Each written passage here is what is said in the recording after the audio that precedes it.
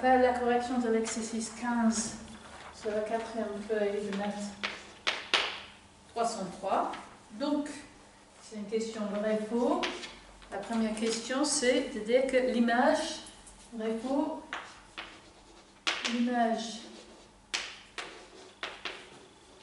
fermée dans Rn sous une application continue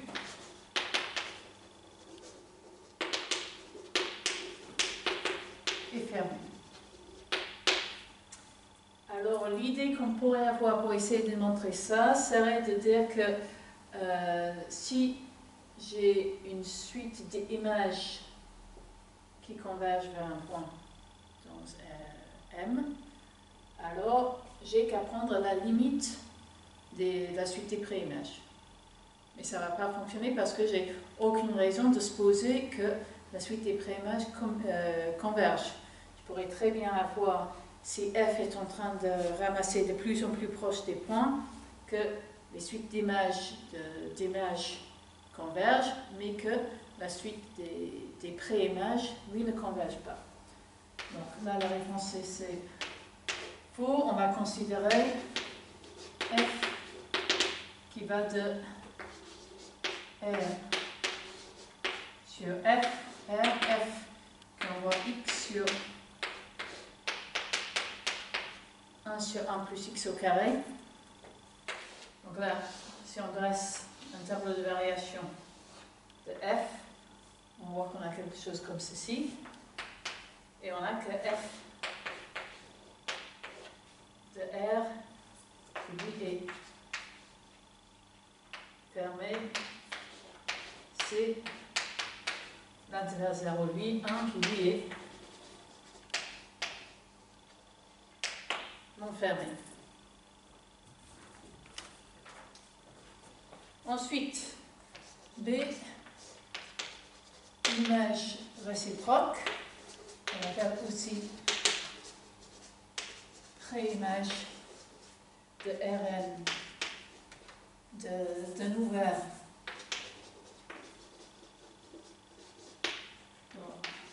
à F qui est continu et ouverte. Alors ceci est vrai, vous l'avez vu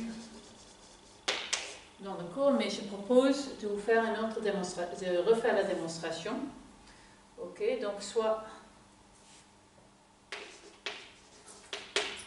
O un ouvert et on va supposer que on va poser euh, U est égal à F-1 de O et soit Y U et je vais poser X égale F. Y est un élément de O. Maintenant, Qu'est-ce que ça veut dire? Que dire que O est ouvert Ça veut dire qu'il existe une epsilon, c'est que si j'ai norme de z moins y plus petit que epsilon, alors z est dans O. Et maintenant, je sais que f est continu,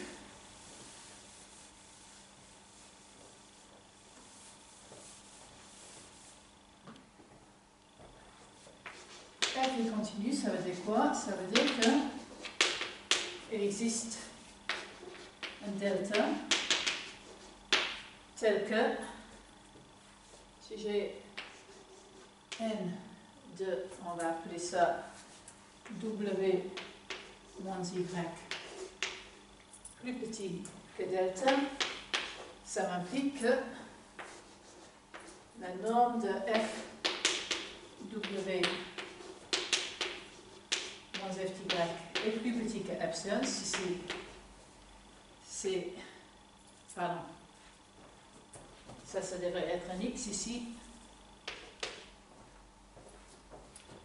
mais ceci implique, par hypothèse, c'est justement comme ça que j'ai choisi mon epsilon, ceci m'implique que f w est contenu dans O, et donc W et contenu dans U. Donc le bilan de tout ça, je, commence avec euh, euh, bilan, c'est que il existe delta positive, tout ça c'est positif bien évidemment. Il existe une delta telle que si la distance entre W et Y est plus petite que delta, alors W est dans U et c'est exactement ce que je voulais puisque ça c'est justement la condition qui dit que W est ouvert.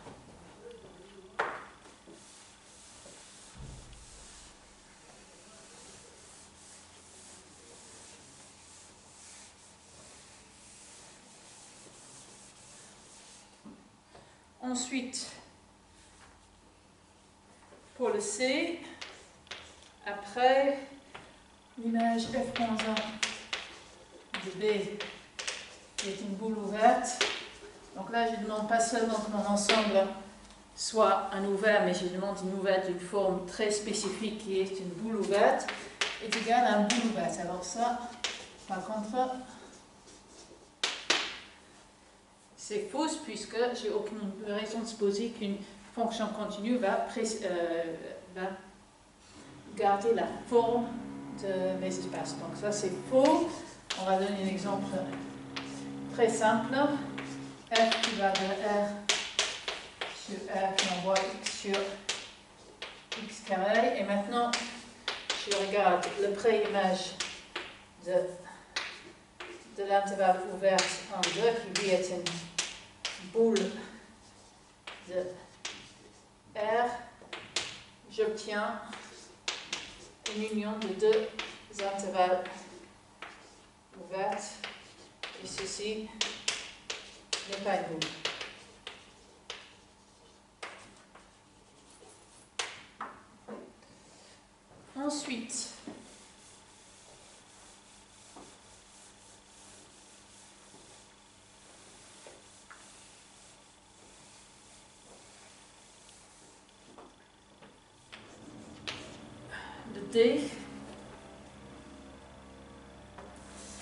L'image réciproque, donc K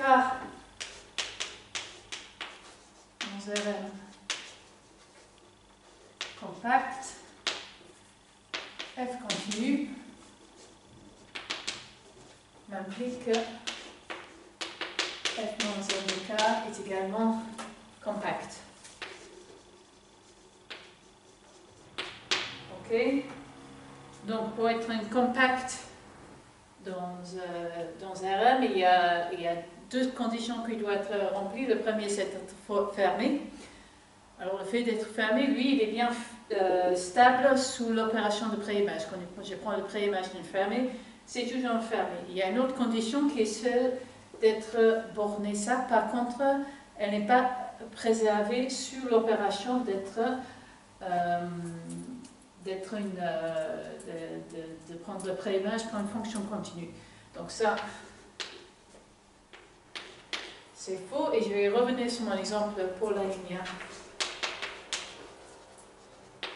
A, qui est que je vais prendre f qui va de R sur R, qui va prendre x et qui va envoyer sur 1 plus x carré. Donc ça, c'est bien une fonction continue définie partout. Et si je regarde f-1 de l'intervalle 1, 0, 1, c'est R. Ceci est fermé et borné. Et donc, c'est compact. Celui-là, c'est non borné. Et donc, c'est non compact.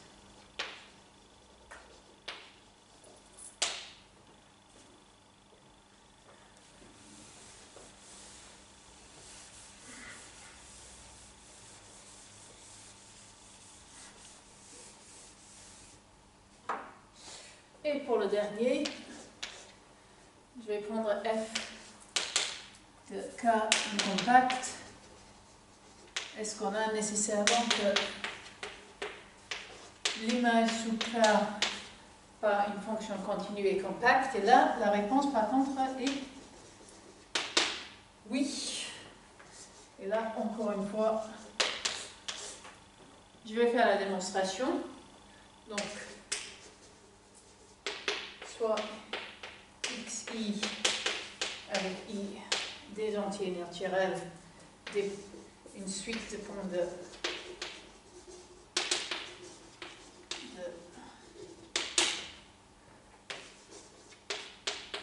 de, f de k, et soit pour tout i, dans i, y, un point de k, tel que f de y est égal à xi. Alors, j'ai une suite d'éléments dans un ensemble compact, j'ai essentiellement qu'une seule chose que je peux faire, qui est de prendre une sous-suite qui converge. Ok Donc, il existe une euh, phi de n sur n qui est strictement croissant, tel que y converge. Donc,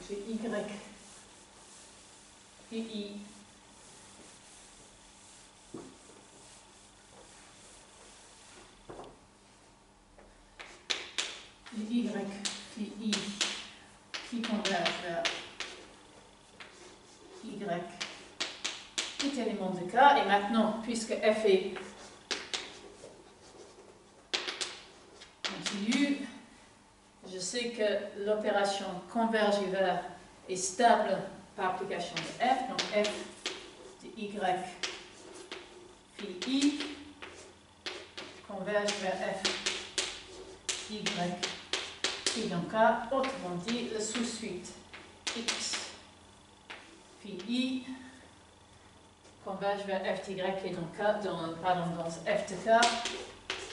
Et donc, j'ai commencé avec une suite quelconque d'éléments dans f de k.